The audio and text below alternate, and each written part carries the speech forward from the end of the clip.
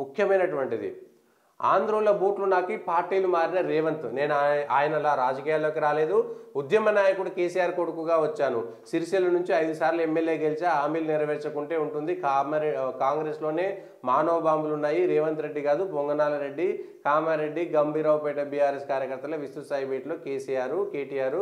కేటీఆర్ సమక్షంలోనే బయటపడ్డ విభేదాలు.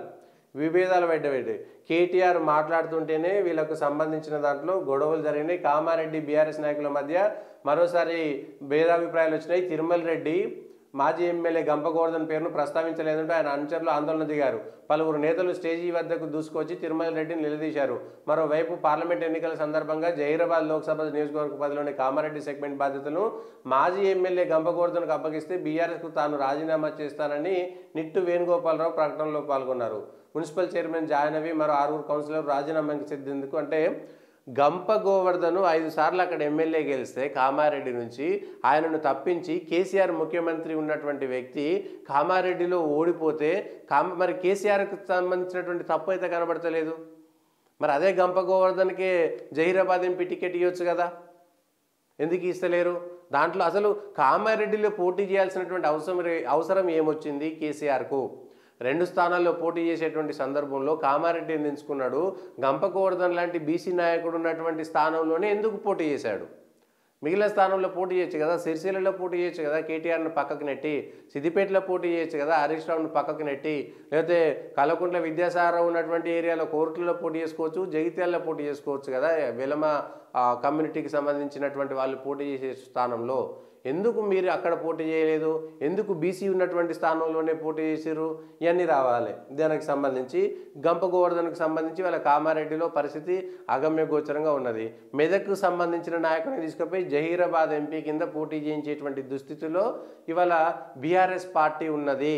అంటే ఓడలు బండ్లు అవుతాయి బండ్లు ఓడలు అవుతాయి అనుకున్నారు కానీ ఇట్లా బండ్లు ఓడలు అన్నీ మునిగిపోతాయని బీఆర్ఎస్ కళ్ళం లేదు. ఆంధ్రోళ్ళ బూట్లు నాకి పార్టీలు మారిన రేవంత్.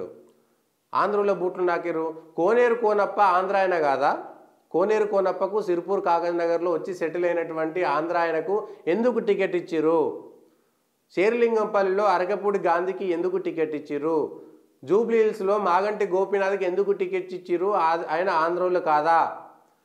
ఫక్తు మీరు తెలంగాణ అనేటువంటి నినాదం తీసుకొచ్చినప్పుడే తెలంగాణ ప్రజల్లో ఆంధ్రోళ్ళ పెత్తనం ఉందనేటువంటి అంశమే కదా. మరి ఆంధ్ర కాంట్రాక్టర్లకు ఎందుకు కాంట్రాక్టులు ఇచ్చారు అంటే మీకు అవసరం వచ్చినప్పుడేమో తెలంగాణ గుర్తొస్తుంది. మీకు అవసరం రాకపోతేనేమో తెలంగాణ గుర్తుకు రాదు. ఆంధ్రాకు సంబంధించినటువంటి నాయకులకు మీరు ఎందుకు అపాయింట్మెంట్ ఇచ్చిర్రు?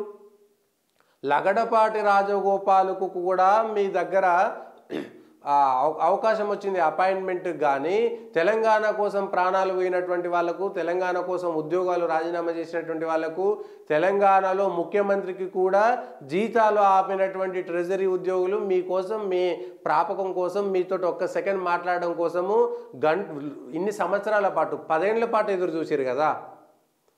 వాళ్ళందరినీ ఎందుకు పట్టించుకోలేదు? ఆంధ్ర ఉద్యోగులు ఎందుకు మీ చుట్టూ ఉన్నారు? ఆంధ్ర హైదరాబాద్ జిహెచ్ఎంసీ ఎన్నికల్లో ఆంధ్ర నాయకులకు ఆంధ్ర నుంచి వచ్చినటువంటి సెటిలర్లకు మీరు ఎందుకు టికెట్లు ఇచ్చిర్రు? మరి తెలంగాణకు మేము ఛాంపియన్లు అనుకుంటున్నాము. ఆంధ్ర నాయకుడు రేవంత్ రెడ్డి బీజేపీలు ఆంధ్రోళ్ళు ఆంధ్రోళ్ళతో కలిసి ఉంటారని అంటున్నారు కదా.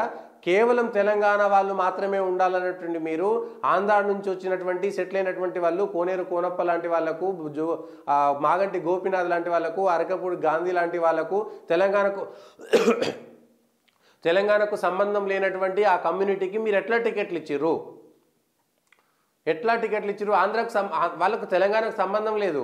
తెలంగాణ వచ్చిందే వాళ్ళు వచ్చి పెత్తనం చేస్తున్నారని కదా. వాళ్ళు వచ్చి పెత్తనం చేస్తున్నారనేటువంటి ఉద్దేశంతో తెలంగాణ అనేటువంటి మూమెంట్ వచ్చింది. మరి మళ్ళా వాళ్ళకి ఎట్లా ఇచ్చిర్రు? మండవ వెంకటేశ్వరరావు ఇంటికి ఏ ఏ కోణంలో మీ ఇంటి మీరు అక్కడికి వెళ్ళిర్రు మండవ వెంకటేశ్వరరావు దగ్గరికి? రెండు వేల పంతొమ్మిది ఎన్నికల సందర్భంలో మీ బిడ్డ ఓడిపోతుందని తెలిసిన తర్వాత మండవ వెంకటేశ్వరరావు ఆంధ్ర నుంచి వచ్చినటువంటి సెటిల్ అయినటువంటి వ్యక్తి కాదా? సరే ఆయన టీడీపీ నుంచి టికెట్ ఇచ్చొచ్చు. టీడీపీ అది ఆంధ్రోళ్ళ పార్టీ టీడీపీ కమ్మోళ్ళ పార్టీ కాబట్టి వాళ్ళ కులాలకు సంబంధించినటువంటి వాళ్ళకు టికెట్లు ఇచ్చి ఉండవచ్చు. కానీ తెలంగాణ అనేటువంటి వాళ్ళు తెలంగాణ కోసమే కొట్లాడుతున్నటువంటి వాళ్ళు తెలంగాణ కోసం ఇవాళ మీరు ఆంధ్రలో బూట్లు నాకిరంటారు కదా మీరు బూట్లు నాకిరా ఇంకేమైనా నాకిరా అనేటువంటి ప్రశ్న వస్తుంది కదా ఉత్పన్నం అవుతుంది కదా అక్కడ. మీరు ఆ పద్ధతిని అవలంబించి నిజంగా మేము వంద శాతం జెన్యున్గా ఆంధ్ర నుంచి వచ్చినటువంటి వాళ్ళకు మాకు సంబంధం లేదు. మేము మేము తెలంగాణ కోసం పోరాటం చేసినటువంటి నాయకులకు మాత్రమే ఇస్తామనుకుంటే ఎందుకు ఇవ్వలేదు? ఆంధ్ర నుంచి వచ్చినటువంటి వాళ్ళకి ఎందుకు ఇచ్చారు రాయల తెలంగాణ అన్నటువంటి మజ్లిస్ను మీరు సహజ మిత్రుడిగా ఎట్లా చెప్పారు రాయల తెలంగాణ అన్నటువంటి మజ్లిస్ను మీరు ఎట్లా సహజమికులు అన్నారు నేను మూడు నాలుగు పేర్లే చెప్పి ఉంటా. కానీ ఒక ముప్పై నలభై మందికి సంబంధించి ఉంటుంది. కాంట్రాక్టర్లకు సంబంధించినటువంటి అంశంలో మొత్తం మీ చుట్టూ ఆంధ్ర కాంట్రాక్టర్లే ఉన్నారు కదా. కాళేశ్వరం కట్టినప్పటి నుంచి మిషన్ భగీరథ నుంచి కానీ మిషన్ కాకతీయుల కానీ మేజర్గా లక్షల కోట్ల రూపాయల కాంట్రాక్టుల్లో మేజర్ షేర్ అరవై డెబ్బై శాతం మీరు ఇచ్చినటువంటి కాంట్రాక్టులు ఎవరివి? మీరు హైదరాబాద్లో భూములకు సంబంధించినటువంటి అంశంలో ఎవరితోటి మీరు ములాఖత్ అయి ఉన్నారు అనేటువంటి అంశం పైన ప్రజలు అంత పిచ్చోళ్ళుగా కనబడుతున్నారు అనేటువంటిది ఒక చర్చ వస్తుంది. సమాధానం చెప్పేటప్పుడు మీరు పదేళ్ళ పాటు అధికారంలో ఉన్నప్పుడు ఎదుటి వాళ్ళ మీద రాయేసేటప్పుడు ఖచ్చితంగా ఆ రాయి పడ్డ తర్వాత బురద ఖచ్చితంగా అంటుకుంటుందనేటువంటి విషయాన్ని చెప్పలేక మర్చిపోతున్నారు. ఆ విషయాన్ని మీరు మర్చిపోతున్నారు. ఎందుకు? ఆంధ్రోళ్ళకు సంబంధించినటువంటి దాంట్లో రేవంత్ రెడ్డిని విమర్శించినప్పుడు కాంగ్రెస్ కానీ లేకపోతే బీజేపీ కానీ జాతీయ స్థాయి పార్టీలు మేము ఫక్తు తెలంగాణ కోసం మాత్రమే పుట్టినటువంటి పార్టీ ఉద్యమ నాయకుడు కేసీఆర్ కొడుకు అంటున్నారు కదా మీరు. మరి అదే ఉద్యమ నాయకుడికి ఎందుకు చెప్పలేకపోయారు? హైదరాబాద్లో ఉన్నటువంటి ఆంధ్రోళ్ళ కాలుకు ముళ్ళు దిగితే పంటితో తీస్తా అన్నటువంటి రోజు ఆంధ్రోళ్ళు కాలకపోయారు. ఆ రోజు హైదరాబాద్లో సెటిల్ అయినటువంటి ఆంధ్రోళ్ళు కాదా? మరి ఆంధ్రాలు అంటే హైదరాబాద్ నుంచి వాళ్ళు కాకుండా హైదరాబాద్ బార్డర్లో ఉండేటువంటి ఆంధ్రోళ్ళు మాత్రమే ఆంధ్రోళ్ళ? ఎట్లా? దేనికి సంబంధించి? తెలంగాణ అనేటువంటి నినాదం వచ్చింది ఆంధ్ర వాళ్ళ పెత్తనం గురించి ఉద్యోగాల్లో ఆంధ్ర వాళ్ళ పెత్తనం గురించి. సెక్రటేరియట్లో ఉన్నటువంటి ఆంధ్ర ఉద్యోగులను కానీ టీచర్లు ఉన్నటువంటి ఆంధ్ర ఉద్యోగులను కానీ మిగిలిన రాష్ట్ర ప్రభుత్వ ఉద్యోగాల్లో ఉన్నటువంటి ఆంధ్ర ఉద్యోగులను ఎంతమందిని మీరు బయటికి పంపించగలిగారు?